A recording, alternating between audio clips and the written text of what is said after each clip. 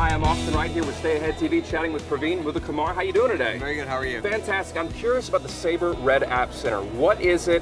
What's it all about? Who's actually making these things? Can you kind of tell me something about that today? Absolutely. So the Sabre Red App Center is the travel industry's first online B2B app marketplace. Okay.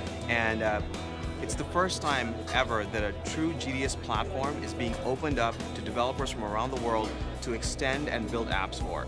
So Red Apps can be built by a global community of developers. It can be built by in-house IT divisions at agencies for own custom needs. And they can also be built by Sabre in cases where we want to release functionality that's either regional or optional in nature and not part of our core, core offering.